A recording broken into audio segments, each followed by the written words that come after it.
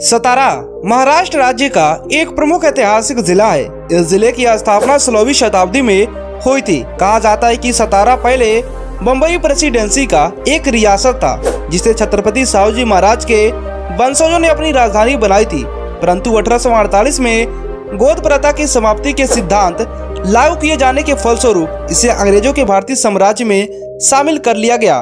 भारत में diesel engine बनाने वाला पहला कारखाना 1932 में सतारा में खोला गया था। आज के समय में सतारा महाराष्ट्र के दक्षिण पश्चिम भाग की ओर बसा हुआ है, जिस वजह से इस ज़िले की सीमा पुणे, शांगली, रत्नागिरी और सोलापुर से मिलती है।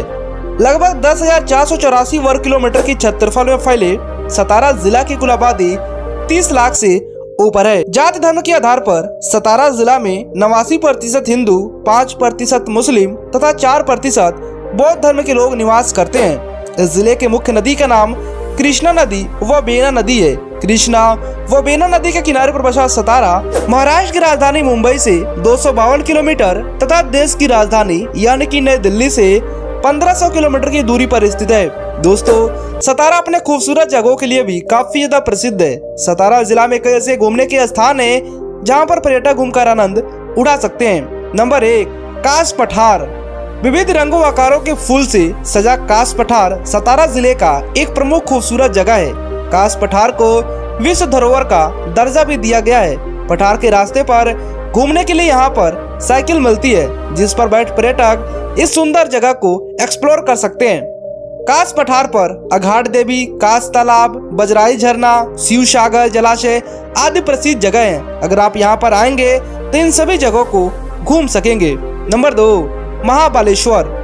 यह एक ठंडी हवा का स्थान है। गर्मियों के मौसम में काफ़ी ज़्यादा पर्यटक यहाँ पर आते हैं और यहाँ के ठंडे, खुशनुमा मौसम का आनंद उठाते हैं। महाबालेश्वर महाराष्ट्र का सबसे ऊँचा और अच्छा हिल स्टेशन है। यहाँ पर हमेशा पर्यटकों की भीड़ उमड़ी रहती है और यहाँ की खूबसूरती काफ़ी ज़्यादा अच्छी लगती है। नंबर तीन, वेना झील। 28 एकड़ के क्षेत्रफल में फैला वेना झील लगभग 10 फीट गहरी है। इस झील का निर्माण 1842 में सतारा के राजा चौधरी अप्पा शाह महाराज ने करवाया था।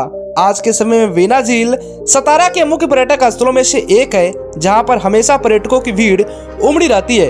आवागमन की बात करें तो सतारा जिला सड़क मार्ग, रेल मार्ग, वायु मार्ग, यानी कि तीनों मार्गों से अच्छी तरह से जुड़ा हुआ है। नंबर एक, सड़क मार्ग। सड़क मार्ग की बात करें तो सतारा महाराष्ट्र के सभी बड़े बड़े शहरों के साथ सड़क के माध्यम से अच्छी तरह से जुड़ा हुआ है। इस शहर के माध्यम से नेशनल हाईवे संख्या चार, जो कि सतारा को पुणे से जोड़ती है। इसके अलावा स्टेट हाईवे संख्या सतहत्तर व स्टेट हाईवे संख्या अस्सी सतारा जिला के माध्यम से होकर गुजरती है। इसके अलावा सतारा जिला में मौजूद सतारा बस स्टैंड के माध्यम से शोलापुर, पुणे, रत्नागिरी आदि बड़े शहरों में बस के माध्यम से पहुँचा जा सकता है। नंबर दो, रेल मार्ग।